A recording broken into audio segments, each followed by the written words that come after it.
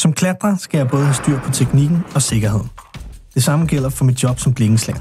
Her arbejder jeg på byens tage og facader og kombinerer klassisk håndværk med moderne teknik og materialer. Vi bruger moderne tekniske hjælpemidler som iPads og CNC-maskiner, men de håndværksmæssige finesser bliver til ude på byggepladserne. Vil du være med til at føre vores stolte traditioner videre og sætte dit præg på fremtidens energieffektive byggeri? Så i blikkenslager